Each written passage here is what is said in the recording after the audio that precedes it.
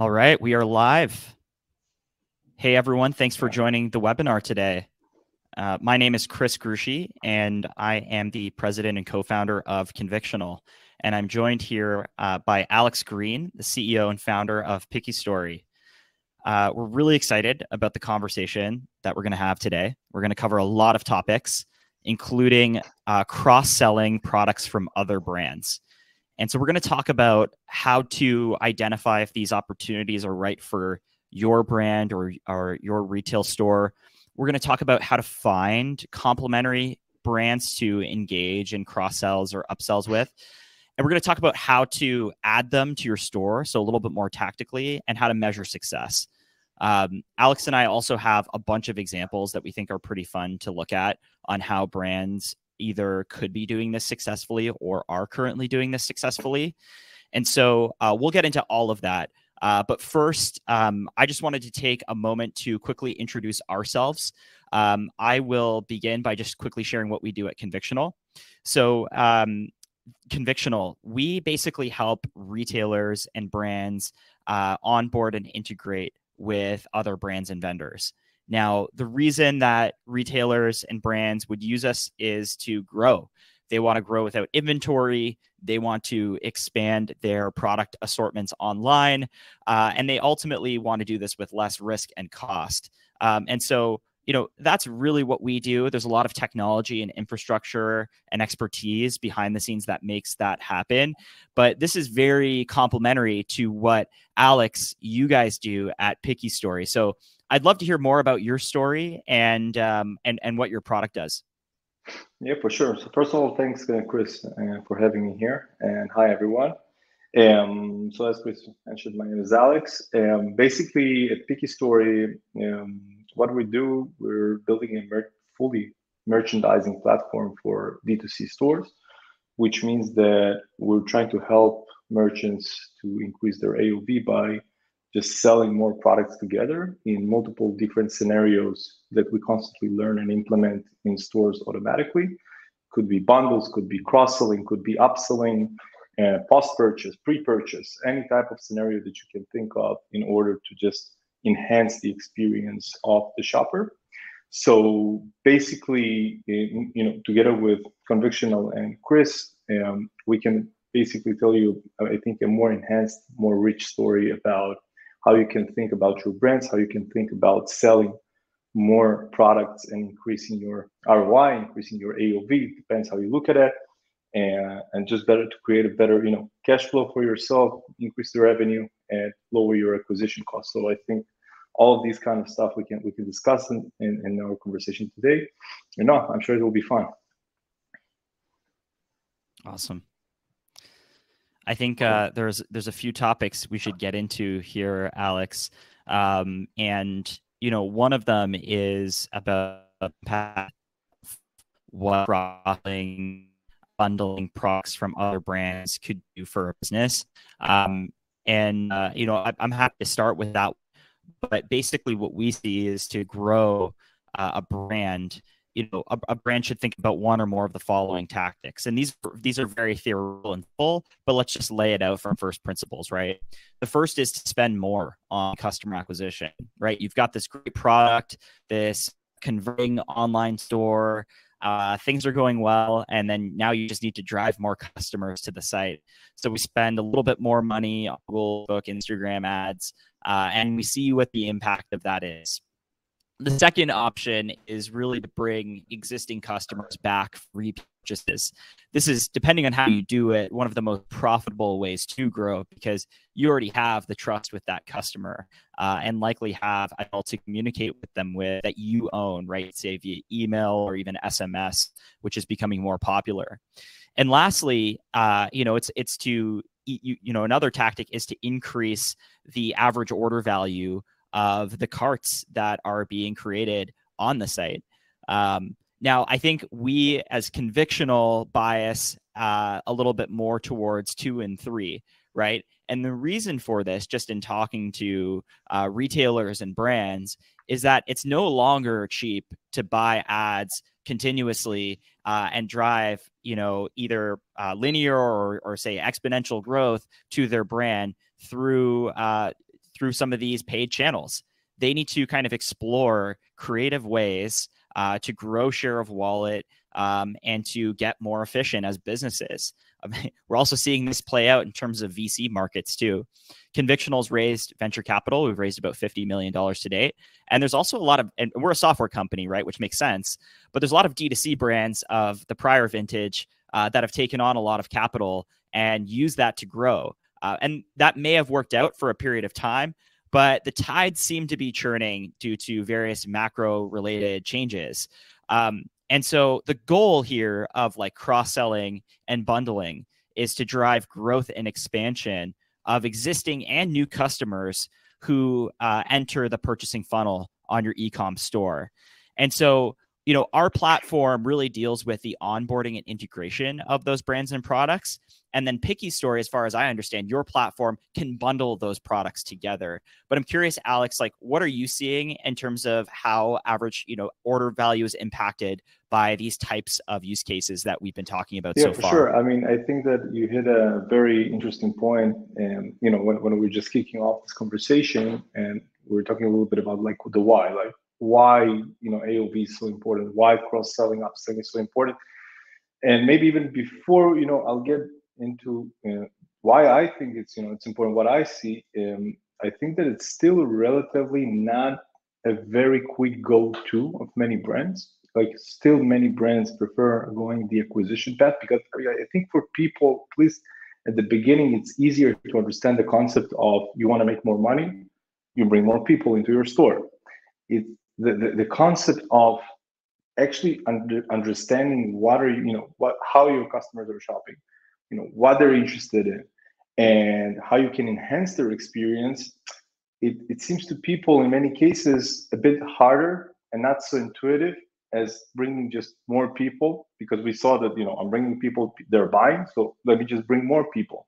And I think that you hit a very interesting point that you talked about D2C and capital and and software in, companies like us and capital i think this game actually you know it changes for everyone not only for d2c stores. We see that you know this trick of just bringing a lot of capital in spending it very very aggressively on ad channels and getting you know all this demand constantly in and you know just throwing the cash putting a lot of money into it and getting a lot of demand. I think this game slowed down for sure and even stopped in some in some industries, some cases, especially for D2C, because you know we, we saw what happened on Facebook with iOS 14. We saw what happened, you know, on the competitive bids out there. It just gets you know more and more expensive. So when we when we started thinking about okay, so what's next, right? How do we grow a business, right? If we cannot constantly spend more and more cash, but we need constantly to increase the number of purchases, because at the end, it's not about how many people I'm getting in, it's about how many purchases I'm able to get, right? And the formula changes. It changes from, okay, person equals purchase to person can equal basically several purchases. But how do I do it, right? So it's it's it's, it's hard. First of all, it's, a con- it's not hard, but it's challenging for for a merchant in terms of a concept. Merchants need to understand how to think about it, and I think that's why we're here as well. And and then the tooling, right? Because we, we can talk a lot about concepts and, and the theory is very rich, but how do I actually do it? How do I actually take my store and implement some of these strategies tomorrow? So in our case, we see that the most successful brands out there in the market are the ones who are constantly obsessed about increasing the revenue that they're generating per customer and not only on the first session and the second session but they constantly look at the lifetime of every customer and I think this is really the big, uh, the big angle uh, and the most important angle that we discuss here. Like, how do I start? You know, how do I switch my mindset from acquisition to uh, activation, and maybe even increasing the value of every customer? How do you? It is. It?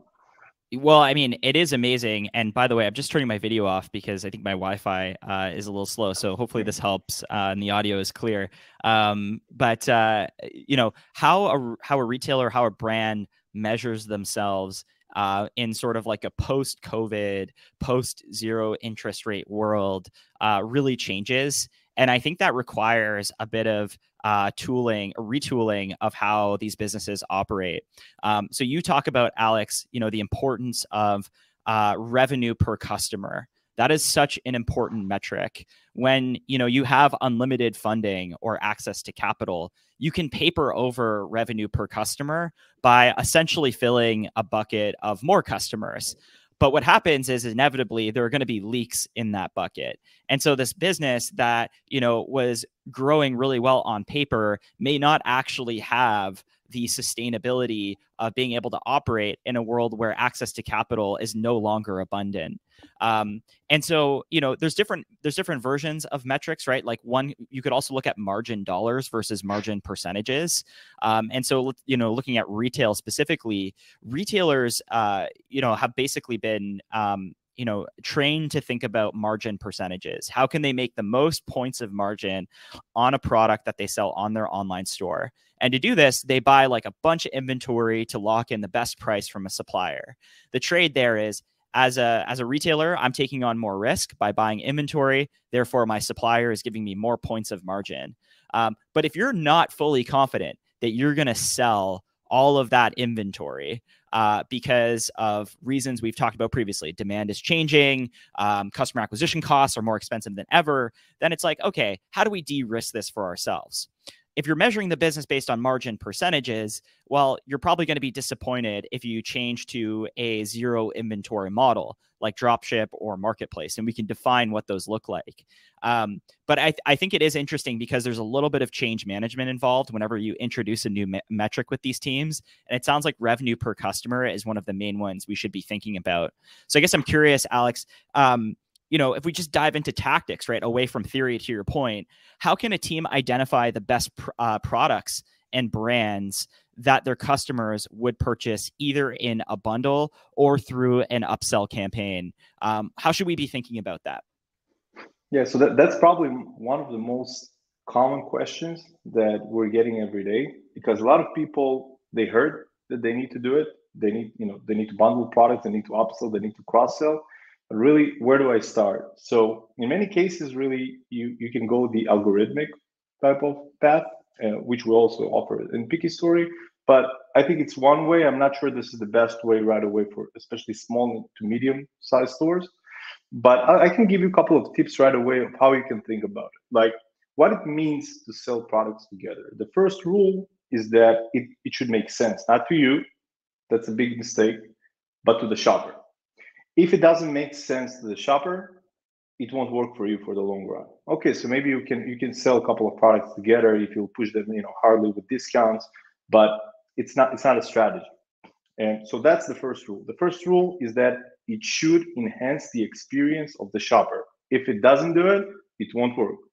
Second, a lot of people think about selling products together. And what I'm saying, what I'm saying selling products together could be any type of strategy, like upsell, cross sell, bundle. Like, like for the for the sake of the conversation, any strategy that you know at least sells two products together. The second rule is that you know selling products together doesn't mean that you need to discount them. That's something that many many people, um, I don't know why, but you know they assume that if you want to sell several products together, you need to discount them right away because otherwise, why would they buy it? They would buy it if you will follow rule number one, which means it should make sense together. It should enhance the experience. Now, if you follow these two rules, that first, it should make sense together. Two, it's not always about discounting. Don't think about it as a discounting as a promotion, but think about it as a long-term strategy.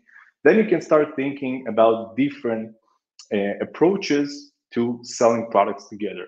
I would say that the first one, the, the initial, the most basic one, is just to look at your orders and see, okay, what usually, which products are usually being sold together? Like what my shoppers prefer to buy together when I don't ask them to buy together. They just do it because it makes sense for them by nature, right? Like, I don't know, buying t-shirt, you people pair it with the jeans. I see that there are certain, you know, two, three, four, five, ten items that are constantly frequently bought together. You see this in your orders. Try to offer them uh, together. You can do it on your product pages, you can do it on collection pages, you can do it as bundles, as upsell, cross sell, whatever. So that's one thing. Another thing that many people do, and you can think about it right away, is products that complement each other, not only because they make sense, you know, together, but just because it could be a good deal for the customer. For example, let's say that you have a new there's a new season for the sneakers that you're selling and you have some stock some inventory from you know previous season now you really want to push the items that you still have in stock but you have also some really really good new items that you just brought to your store and you know you want to showcase them so you can bundle these two products together like your hero product or a product that is really shiny and a lot of people want and you can basically bundle it together with a less good of a selling product in order to push them together. And there for example a discount can can do the job and really push the shopper to get two sneakers instead of one. And you will get rid of the inventory and still make some decent amount of, of dollars. There are a lot of other strategies that you can uh, that you can think of. You can think about promotions that make sense with holidays right? In some cases you want to you know there's a holiday season there's you know women women's international day. A lot of if you open the calendar there are a lot of different reasons why to promote something and and, and do and you know sell it together. In in in other cases you can also think about what my shoppers need right? And one of the examples that i think we would like to discuss here is for example coffee right? If you if you're buying coffee beans or a coffee machine you need beans right so instead of letting your customer going to another store and purchasing the beans or the complementary product in a different store, leaving his you know good money there, maybe you can do something in your store, even though it's not your inventory or it's not your product. Like originally you're not selling beans, but you can do some kind of a collaboration with another store. And I think this is something that really, you know, gets back to convictional and, and what you guys are doing, right, um, Chris, in, in terms of how you can collaborate. I mean, you can think about different strategies for bundles, upselling, and cross selling, but in many cases, you don't really have the products to do it and you're getting stuck. But I think you you you can you know share some light on how you can do it and what are the different strategies of getting complementary products when you really don't have them right away in your inventory. Yeah, I, I mean, and, and, by the way, like you hit on so many great tactics there that I just want to highlight a couple of them before uh, before we yeah. jump ahead. The the you know I, I love this idea of looking at the at enhancing the customer experience as the cornerstone of the thing we're trying to do here, right? It's not discounts you know in fact if we take care of the customer revenue will come right? The score will take care of itself. So i love this idea that you shared on looking at historical orders to try to associate your products with complementary products. Um, there's a bunch of other uh, tactics that we would recommend a brand or retailer do in order to drive uh, you know a better customer experience. And let's just take some easy ones right? Like we've all been in cases where we've been shopping uh, for let's just say i don't know a pair of shoes and we go to select the variant uh, and the we want and the size is no longer in stock right? Or uh, you know, you could take a different example, right? But usually this is a terrible experience. I've, in some cases, have purchased a product that says it was available only to find out and get an email from customer support that actually that yeah. item's on back order, which means they don't have it in stock and I'll get it at a later point in time. And there is nothing more frustrating than that, right? Um, so, what can brands and retailers do to prevent this kind of strategy, or, or you know, even just enable cross selling to fill some of these gaps? What we'd recommend is to look at search uh, their search results, right? Look at what people are searching for on your online store. Uh, and then you'll get an idea of not only how they associate your brands with different keywords or potential SKUs that they think live on your site or they think should live on your site, but they'll also give you clues around uh, the types of products you should be merchandising or that could be complementary. So, you know, not only looking at order history data, which was a fantastic suggestion, Alex, but also look at your search data um, to see where null searches are coming up for customers. And one of the other uh, points here is uh, you made is around merchandising. I love this. Um, historically, merchandising has been based on category, right?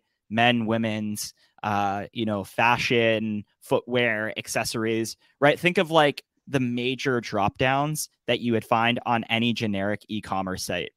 With the right kind of brand partnerships in a cross sell, upsell fashion, you can start to merchandise around occasions, trends, and feelings right? This is really cool. So you mentioned uh, like a Mother's Day event campaign. I love that. I think what prevents people from doing that is having the capability to onboard the right brands to be able to turn around those types of campaigns quickly.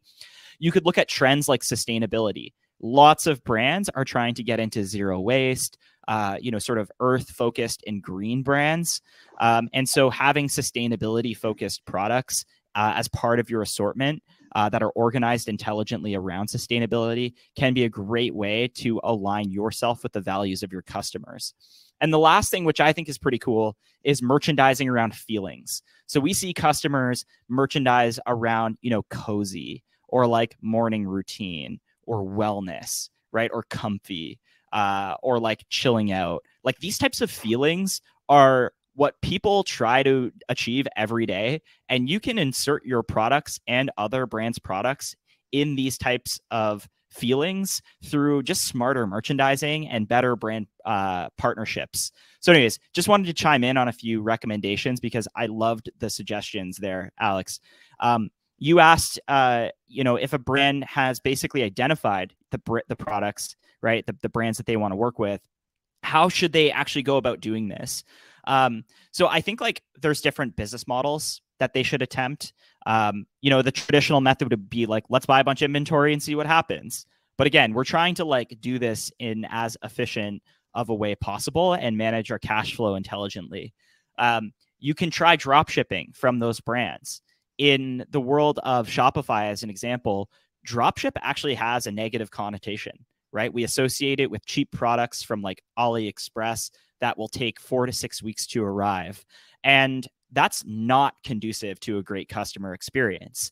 Um, but what if we could use this idea of like virtual inventory in a very curated way where the brands we bring on board are trusted, they have a high quality product, and they can ship quickly?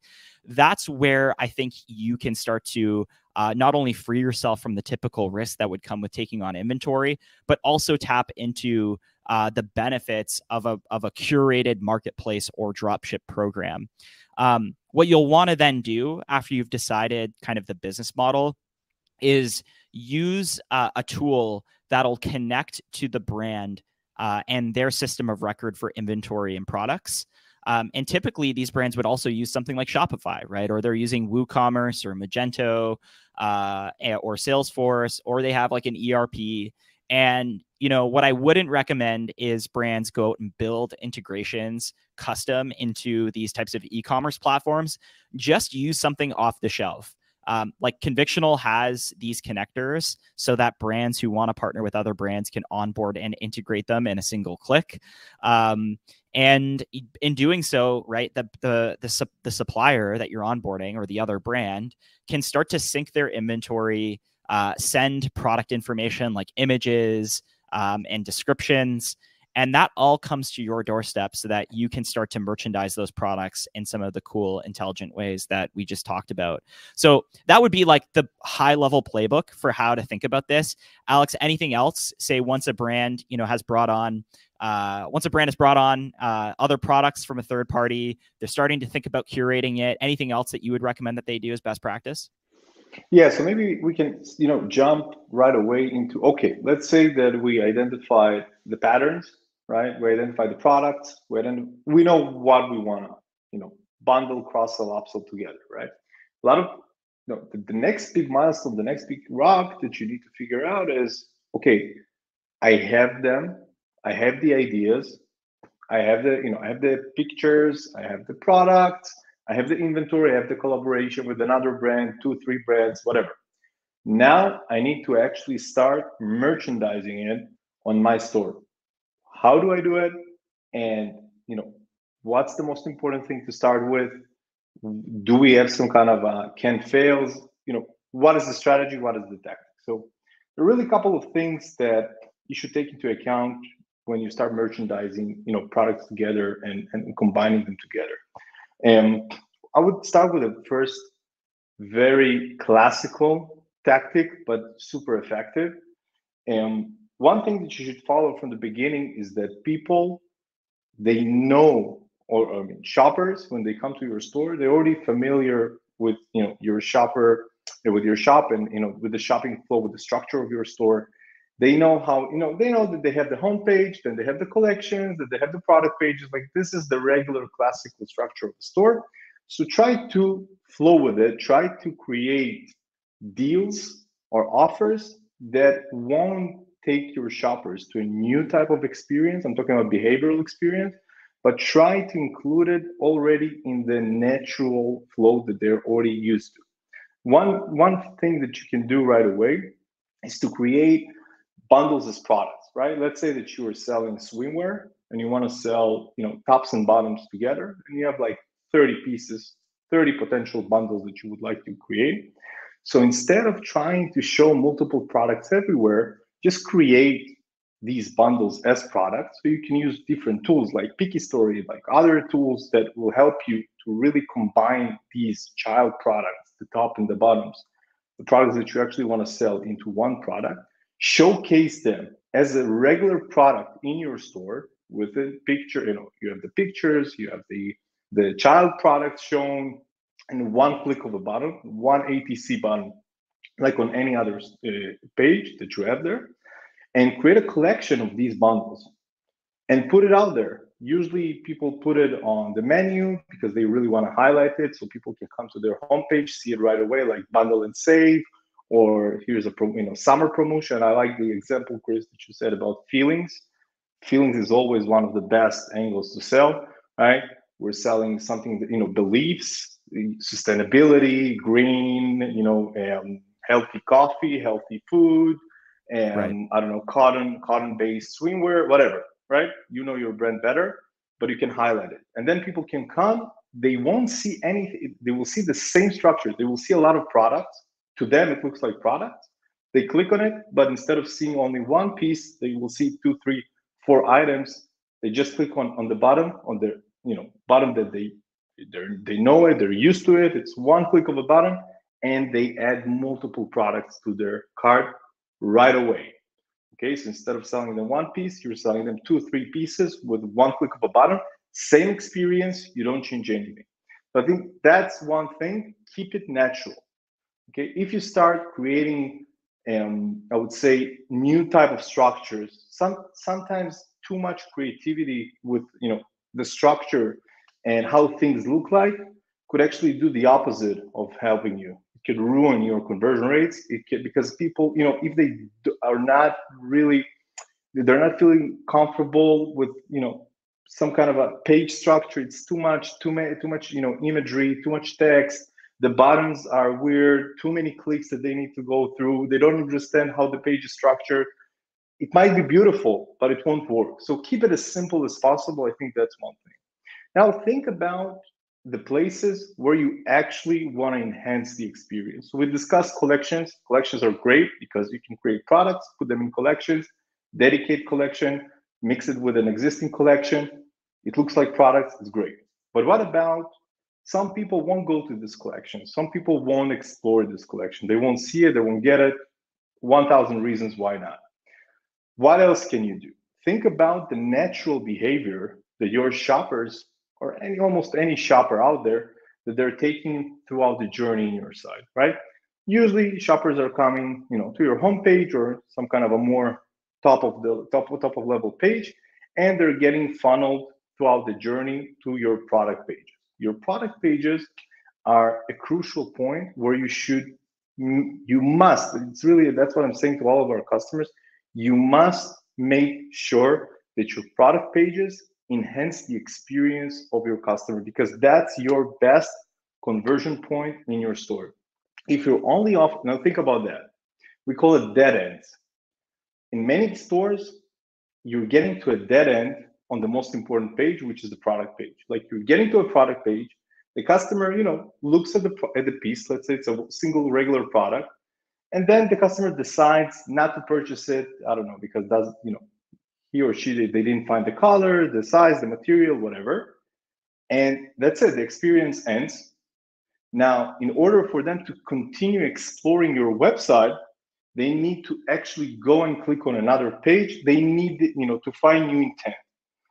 Now what we usually offer and, and, and really recommend is to continue the exploration throughout you know the page. So offer something to them whether it's recommended products underneath Uh, uh, the main product whether it's a bundle whether it's a, you know a lot of people that view this product are also interested in you know in, in other products that are related to it like try to constantly get the shopper to the next experience try to constantly move the shopper towards the pages that make sense. It's the same idea that maybe you're familiar with with content strategy, content funneling, right? When you're reading something, they're constantly trying. I mean, if it's a sophisticated place, newspaper, blog, right?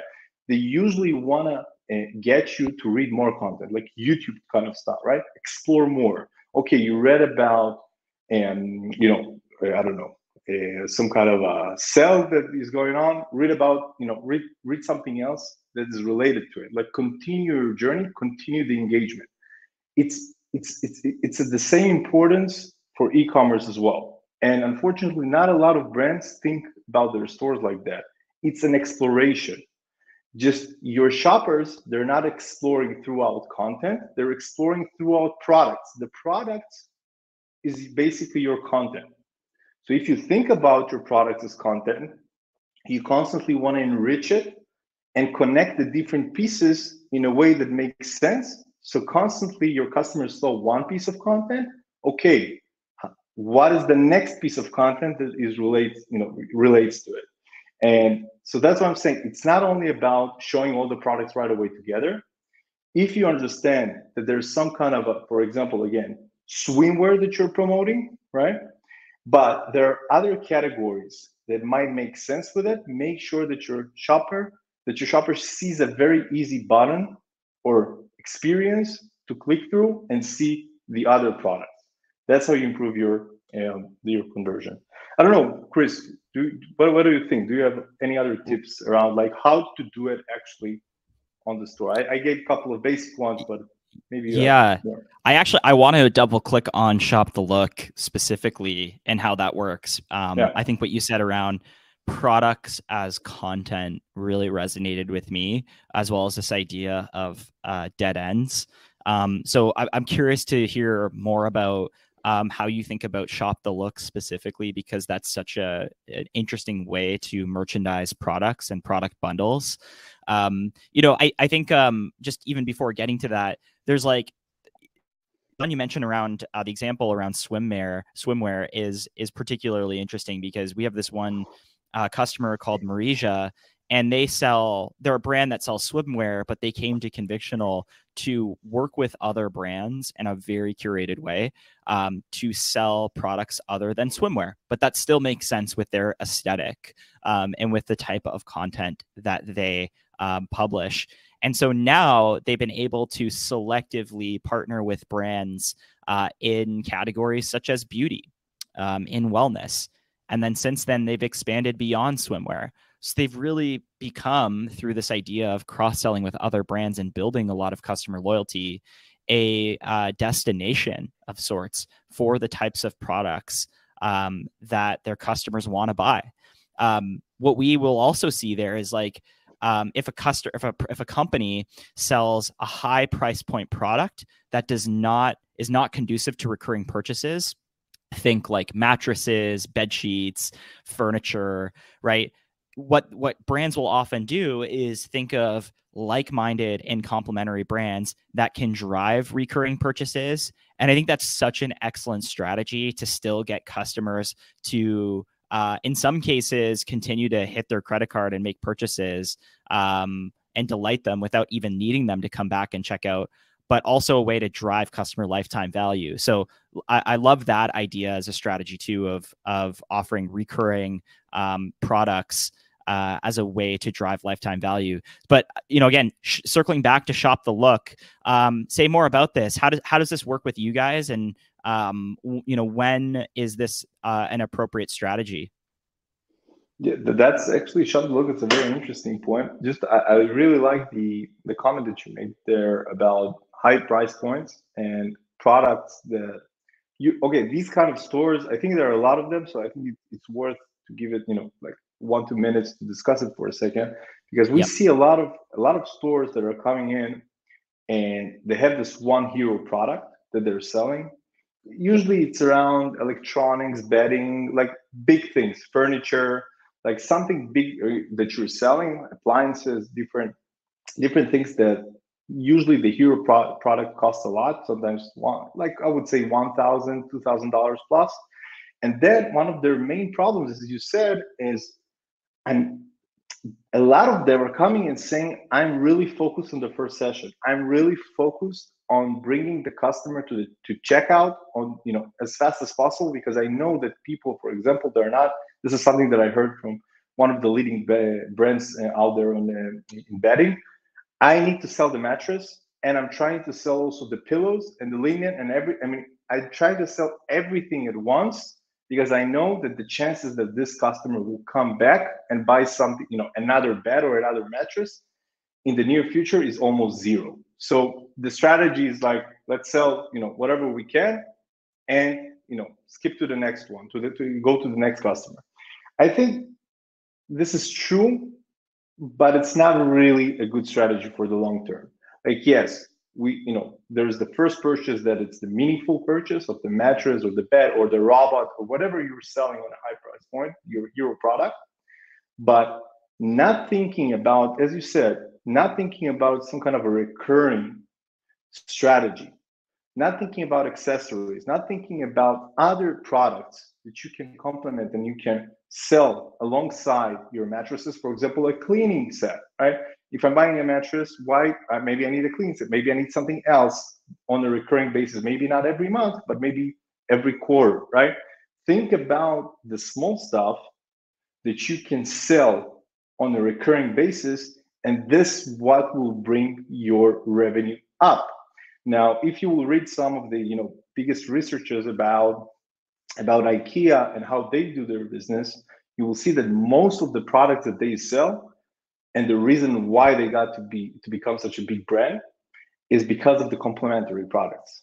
The, sometimes we call the spontaneous shopping not because of the products that you know their shoppers are coming originally to purchase in ikea. So that's i think a good comment because a lot of a lot of brands that are selling one big product and sometimes a couple of small products there are a lot of times they're frustrated because they really don't know what to do next. They sold the one product, they you know they, they, they already paid for the acquisition of this customer, but what's next? Like what should I do? So that was just a comment about the one you know the hero product. Regarding shop the look, shop the look, it's really a lot of people associated with fashion only, but I would say that this is not true. Shop the look, it's basically the same idea of selling products together or selling a bundle, but instead of selling the products, you're selling the experience. And that's very, very important. I think brands, as they grow and mature, especially in their thinking, they're stop, you know, they don't think about, okay, how do I sell this product to as many people as possible? They think about, okay, what do I sell? Right? What is the experience? For example, one of our customers, Four Sigmatic, they're, you know, if you look at their product, they're selling coffee like a lot of brands are selling coffee, but they will never talk about coffee. They're talking about having, you know, a healthy type of work life balance and they're selling healthy coffee for people who care about their you know health and about their uh, you know lifestyle so it's about selling the experience. I think that Shop the Look is a mature way of selling your brand. It's a tool that allows you, instead of selling a sofa and a chair, to sell your li- to sell the experience of a living room, of a modern living room, of a classical living room, right?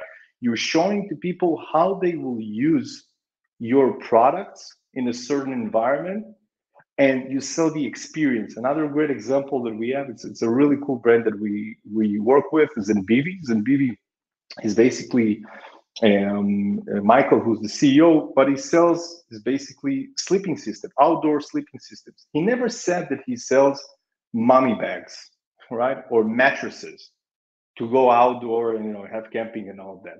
That's not his brand. His brand is you are buying the experience of Zenbivy outdoors. So people talk about it. I have Zenbivy equipment. I have the I, I bought the Zenbivy experience. I bought the mattress. I bought um, the tent. I bought the mat, uh, the, the pillow, and this is the experience. It's a full thing. And when you're selling the experience, you have the chance to showcase to your customers more products, but not in a salesy way of you know get this and get that and get not like type of Amazon style which is very effective. But what, what we're trying to explain with Shop the Look is that you're saying, okay, you want to look like this, you want to hang out there, you want to use uh, this kind of equipment, you want to live in this kind of a living room. Okay, so you're selling the experience to the customer if it makes, again, comes back to rule number one it should make sense to the customer. If it makes sense, you're showing an incredible experience. People buy with their eyes. They're not buying by you know reading the technicalities and the materials of your products. I think that's really the big thing about shop the look. Can be used almost in any um, industry in any vertical but you need to really think through what is the ex- that's the basic question. My brand what is the experience that i'm trying uh, to sell? It's about what so I don't know. Did you have any experience with Shop the Look and from your customers, Chris? I mean, um, so many uh, interesting points there. Uh, I love Shop the Look because ultimately the customer can see themselves using the product in a context. Um, so it's not just an image on a white background, uh, it's an experience that they can relate to. Um, you know, I'm visiting right now Austin, Texas. I'm normally from Toronto. Um, Austin, Texas is a wonderful city. Um, and I believe it is the birthplace of the brand Yeti, uh, which is uh, a brand everybody, uh, most people I would say, are familiar with, uh, very successful. One thing that strikes me about Yeti is just how uh, uh, relatable they their product is to uh, outdoor activities, right? To to living in the or to being part of an outdoor experience, um, camping, uh, you know, whether it's being on a boat, and so like these are all things, or or hiking. Um, these are all things that like people love to experience. And when you think of those experiences, you may associate those experiences with Yeti, uh, and certainly their e-commerce, uh, uh, you know, pushes that narrative. So let's get back to maybe cross selling a little bit here. You know, it sounds like Alex, it has to start from a place of a good customer experience. Um, do you have any um, tips for how brands can measure the success of cross selling? What are some of the metrics that stores need to monitor? I have a few ideas here, but I'm curious what comes to mind for you as far as metrics go. Yes, I'll I'll start. I'm actually curious to hear your ideas as well because I'm sure that it's it's it's it's it's, a, it's not an easy it's not an easy task. And I would say that if it's cross selling, you know, within you know your store with your own products without collaborating, I would say that you need to constantly first of all measure the revenue or to, or to try to split and measure the revenue of the previous experience where you know you just sold the people that bought product A now you're you know cross-selling it with other products. What was the journey right? How much what was the average value of the people who bought this product before you started cross-selling it with other products? And then I would probably check also what happens after you started also pushing it with other products, cross-selling with other products. Now, in many th- in many um, cases, you need to think about also cannibalism a little bit of your own you know, purchase uh, journey. So you need to make sure that you're not pushing the things that people will buy anyway, or usually they buy together, and just to push it because it's easy. Try to find things that make sense, but adding the extra thing, like the extra item, will actually increase on average the value of this session of this, you know, journey. It's not easy to measure. We're working also on a lot of tools in order to make it easier to understand, like how do you need to measure it. But overall, I think the easiest way is just to measure the AOV, right? like what happens when i had sessions without this new cross-selling experience that i'm now pushing you know with my with my store what was the average value of the order right you can also split it of course into you know products that you kept single and products that you try to push together with others and then measure it again measure again the aov after you're trying to um, and push it together with other products. I think the easiest way is just to compare AOVs over different periods of time. So, for example, like last week and this week, last two weeks, this two weeks, um, and that's probably would be my you know would be my best tip here. Other things that you can do um, is also you can think about drivers. In many cases, one product is really the hero product of the store right? Actually, in most cases, I would say every store has like one to three products that really sell well, and everything else is, you know, sells, but here and there. You can start building strategies that are based on okay, we want people to buy the hero product, and then what? Then let's try, you know, to combine it with product A, then try combine it with product B, and then measure one week let's run with product A, one week let's run with product B and see if the AOV increases and how much it increases.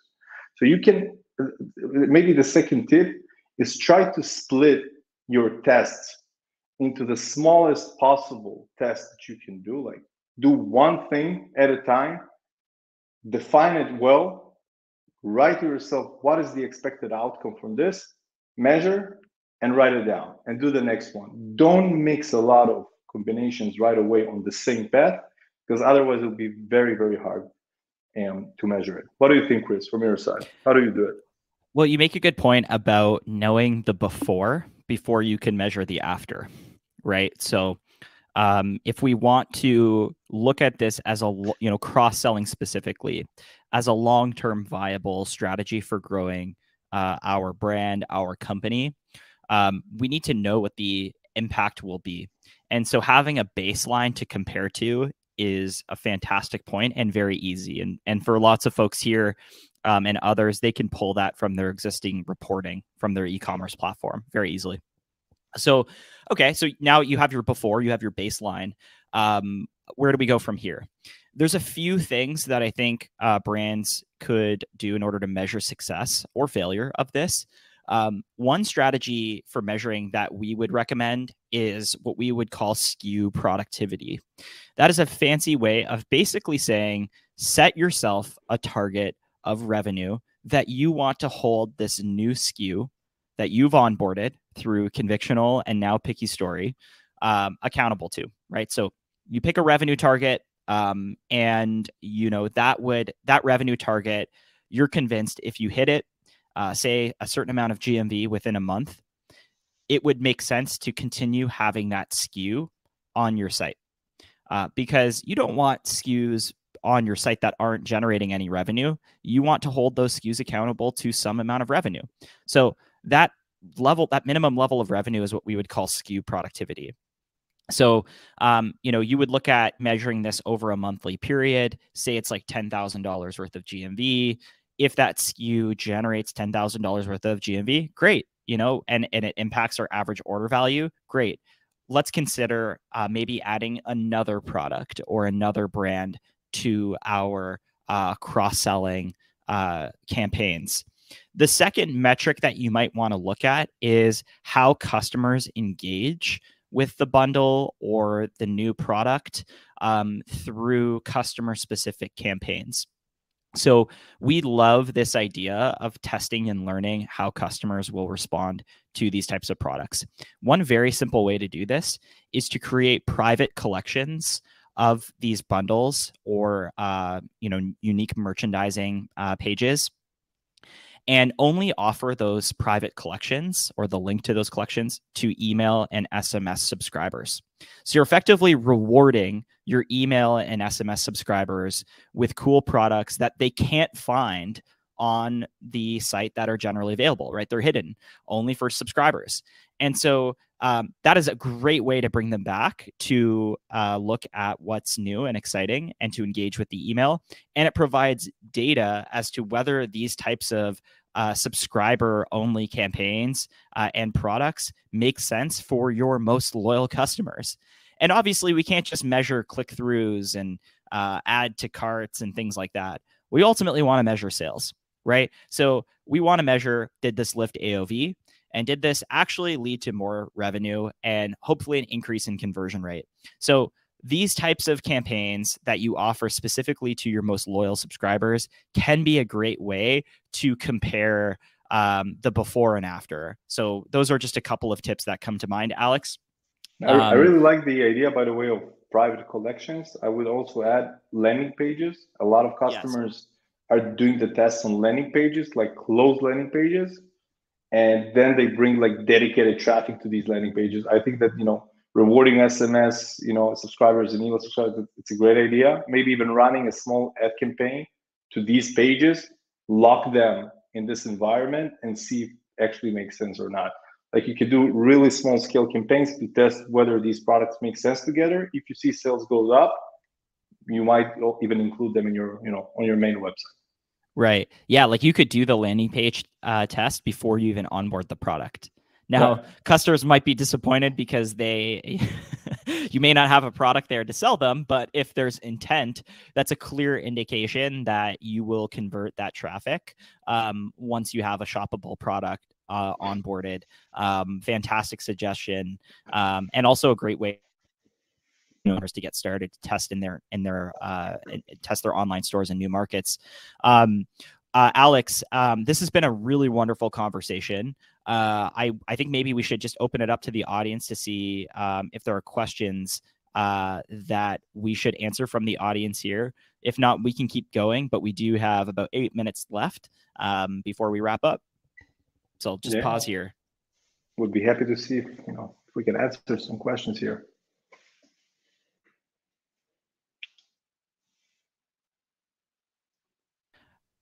All right. Looks like we have one uh, from Nikhil. What are promotion strategies that brands can implement together to maximize cross selling across their audiences? Ooh, this is an interesting one. So it seems like the question asker is wondering how uh, campaigns and promotions can work together. Um, any ideas on that, Alex?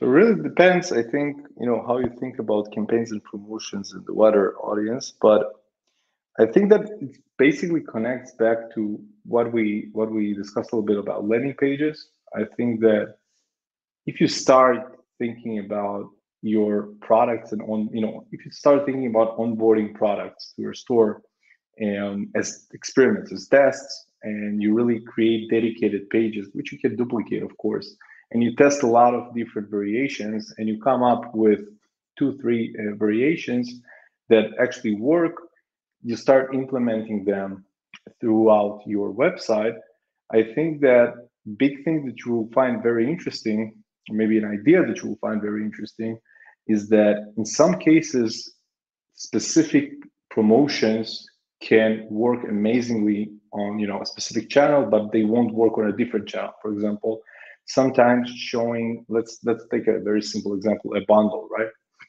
Sometimes showing a bundle as a product in a collection can work very well because it has a lot of context from other you know products in the collection or you know the general flow But then when you're trying to push it through another product page, as you know, a bunch of products that you need to add with one click, it doesn't work. Or if you try to sell it, you know, with an email.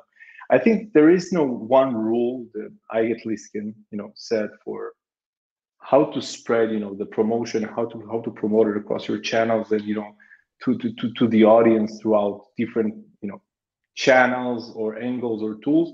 I would say that testing, testing, testing is the, is the best way um, to go. Start with one, or, I mean, one option is to start with one place where you actually put the bundle and see if it works, or put the you know the upsell cross sell. Another way to do it is like start with five versions, five versions of different places. Try to get a signal, like Chris said before, like get the CTR, see see how people engage with it, and start removing it from places that are not working together and try to build this kind of you know experiment flow over several weeks and get to i don't know three four five six promotions that work well each one of them on a different place. And then you're getting like something that makes sense. Um i don't know. What do you think Chris? yep. Well i i uh it's interesting because i think there's some maybe some controversy around whether brands should share customer data with each other, right? So if you're engaging in cross selling, sometimes we get the question, hey, should I share uh, the email subscribers that I've built up or the customer data from these orders with my uh, suppliers, with my vendors? And I think that there are probably some uh, PII um, uh, concerns there that I would defer to the policies that you have in place between you and your vendors. Generally, I don't think that that makes sense. I think that the whoever is selling to the customer should own the customer data, um, and you know the brand who's fulfilling the order should get a very healthy margin um, for you know the increase in distribution. Now we have another question here, which I think is is super interesting. It's uh, how to make customers happy when shipping products, multiple products from different warehouses. So, Alex, here's the scenario, right? We have this, uh, we have this, this bundle for you, Chris. This one's for me, but we have this scenario, right, where we've got a, a product um, or, a customer who adds multiple products uh, from different vendors to their cart. They check out, everything's great. They get tracking numbers. Um, what do we do about the fact that they're going to get two different packages or three different packages? Um, Here's my answer to this it matters much less than people think. The reason it matters much less than people think is that we are uh, conditioned to have multiple packages from the same order arrive at different times thanks to Amazon. This happens all the time. The things that actually matter that we want to pay attention to with respect to shipping are the following the cost of shipping to the customer, and the shipping speed, right? Those are the things that matter. Um, if it is very expensive to have a vendor uh, ship an item to the customer and they're passing the cost of shipping over to the customer, that might be prohibitive and therefore reduce conversion rates. So, whoever is owning the customer and the channel needs to think through their shipping policy. Second, uh, you know, how should we measure um, ship shipping rates? We do this in our platform uh, within Convictional. We measure ship times, and so what you'll want to do as the uh, brand who's selling to the customer is have a service level agreement in place, a policy with your vendors, right? So, say you want products to be shipped within 48 hours. Um, that is very reasonable and you should be able to hold your vendors accountable to that ship time policy. So we would give you the ability in the dashboard to see the average ship time from the vendors you choose to onboard to ensure that they remain in compliance with your ship time SLAs. So we talked about cost of shipping, make it free for the customer, make it easy for them to buy the product, uh, and only partner with vendors who can ship products quickly. Those are the things that matter. Now, if the customer opens a box that's shipped from a third party vendor and it contains, you know, uh, uh, flyers for the for the vendor, it contains uh, maybe packaging that's not on brand, um, or a packing slip that doesn't look like it came from the from the brand who ultimately sold to the customer, then those can be negative post purchase experiences what we would recommend in these cases is to, at minimum, have your vendors ship the products in a, an unbranded box so that you know there was no promotional material from the vendor who's shipping it, um, and ensure that the packing slip is branded to the merchant who originally um, uh, got the order, right? So if you have branded packing slips, a neutral branded or no branded uh, uh, box, um, that can help the customer. Um, you know the customer experience post purchase so those are those are a couple of um, tidbits that we would recommend. Again multiple packages from different warehouses less of an issue. The bigger issues are cost of shipping shipping shipping times um, and misaligned packaging. But all of those things can be solved for uh, very easily. So um, yeah, those that would be my take. Uh, shipping times it's definitely a big one. I think the shipping times are becoming more and more important, and misalignment also as well. I think. Yeah, a couple of good tips there. We uh, we have one more, and then we'll wrap up. Which is how should we think about pre-purchase and post-purchase with regards to upselling? Um, Alex, any any quick thoughts on that? Yeah, because we don't have a lot of time, so I'll just uh, quickly note here. I think that the big it's, it's the big question pre-purchase and post-purchase. I think that really splits nicely um, the experience of upselling and cross-selling before the checkout and after the checkout. I think that you know two quick things um, from my side. I think that pre-purchase before people get to checkout, it's all about enhancement. You need to enhance the experience, and that's your goal. If you will be able to enhance the experience nicely in a way that doesn't interrupt the usual journey, you will be able to sell more products to more people and get your revenue up. And post purchase to me, it's all about urgency. Post purchase, you don't have a lot of time. The customer already made, you know, the payment. Usually they they try to, you know, like run away from from the store as fast as possible because that's it. You know, the intent went down. But your goal is to reignite the intent by offering a deal that they cannot refuse, usually with it's a time limit deal. Usually it's with a really effective or you know significant discount. And this is a very strong strategy, very effective if you do it right. So if I need to say, you know, what is the main difference and how you should think about it, pre-purchase, it's about enhancement Post purchase, it's about urgency and making decisions fast because you already have the credit card, you already have all the details from the customer. They don't need to reinsert all the details again. They just need to click on the button. But in order for them to click on the button, it should make a lot of sense and be a really good deal. What do you think, Chris? Amazing suggestions. I think this is a phenomenal place to wrap up. Alex, thank you so much for taking the time to talk to us about uh, PickyStory and the wonderful tactics that you've recommended here on how to do cross selling and upselling thoughtfully and ultimately successfully.